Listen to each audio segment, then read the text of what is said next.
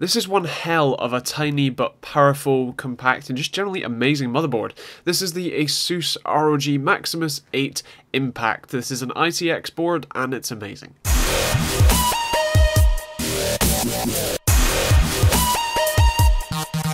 Check out our website at techteamgb.co.uk for more info on both this and many other products, and also up-to-date news on all things tech. Stick around for this awesome video. So as I said, this is the Maximus 8 Impact. It's an incredibly featured board, and you actually get a lot in the box as well. You get obviously a lot of stickers, as well as the IO shield, a lot of SATA cables, in fact I believe more than you need. Um, also a temp sensor and a fan extender board, which we'll take a look at later, but it's really cool. Um, you also get a CPU installation tool, a couple of screws, um, and the sort of guide and driver disc and all that sort of stuff.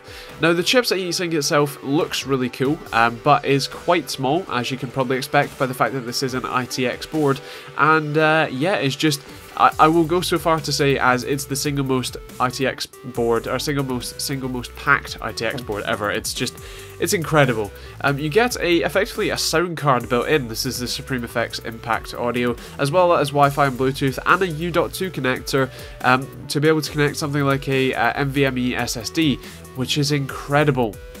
Now the placing for that isn't the best, but it's kind of the only place you could put it on the board really.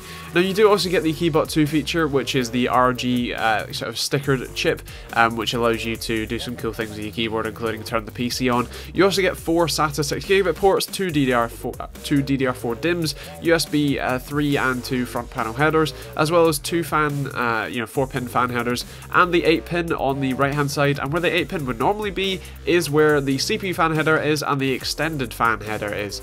Um, you can also see a lot of kind of rear mount components or rear surface mount components, which is kind of to be expected with something this jam-packed. Now, the sound card, or the, the sound, uh, I guess, bit can be removed, but it does jut out quite a lot, and so does the extra VRMs. Those allow you to overclock on this board. Yes, overclock.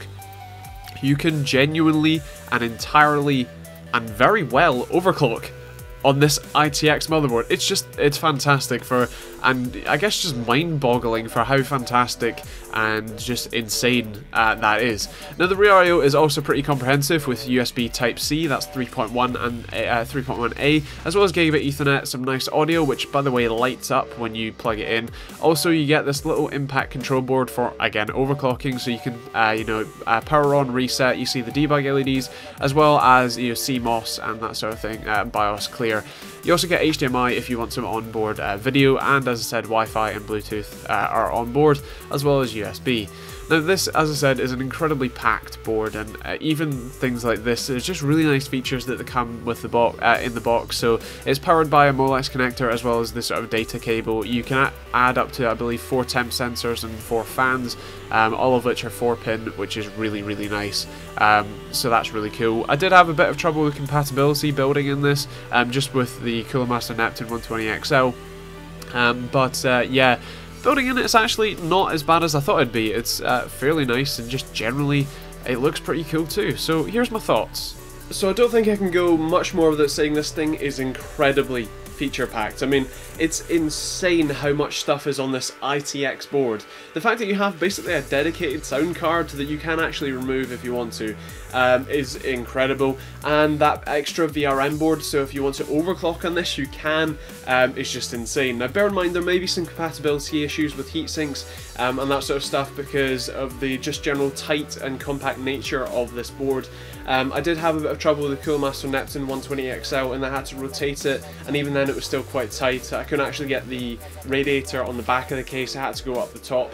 Um, so it is a very kind of tight build that you'll end up doing, but it's incredibly powerful. I mean, throw something like an AMD R9 Nano in here, um, and you've got the most compact but just amazing, you know, balls to the walls uh, uh, system that you can imagine. It's incredible. Um, now, in terms of sort of pros and cons, obviously it's incredibly feature packed. I mean, that U.2 connector uh, on the rear I.O. Bit of a strange place to put it, but amazing the fact that you can connect an NVMe SSD to this, is, that's insane. Um, but, uh, you know, obviously the, the main issue is going to be compatibility and just being able to fit things in and around the board. Um, but that's pretty much the only real issue I've seen. I actually really like the BIOS, especially for overclocking quite nice, and just general usage is really nice as well. Um, and the look of the board is fantastic too.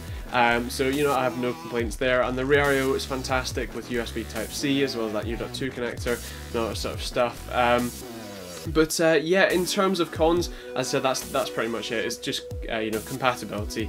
Um, now, in terms of scoring, it's going to get a four for value for money because it's not the most you know value for money board on the planet, but you do get a lot of money for your real estate and uh, you do get a lot of features for your real estate and just generally a lot for your money. Um, you also, uh, it's going to get a 5 for performance because most motherboards are the same nowadays. Functionality is going to be a 5 because, Jesus, this thing is packed um, and is just amazing. Um, in terms of style, it's also going to get a 5 because even though those riser cards are there, they do look definitely very stylish. And it's going to have to get a 5 for TechteamGB score because it is a fantastic little motherboard and it's probably going to get the top tier award as well. Um, it's really a fantastic little board. It's amazingly small, but with so much built into it and so much built uh, uh, built onto it. Um, and you do get some fantastic connectivity. Even that fan board is fantastic as well. The fact that you can plug in um, a little sort of board and hide it away somewhere and connect, you know, like six more, five, five or six more fans. That's fantastic. And temperature sensors. Um, it's just brilliant. So um, yeah, it definitely deserves that award. So.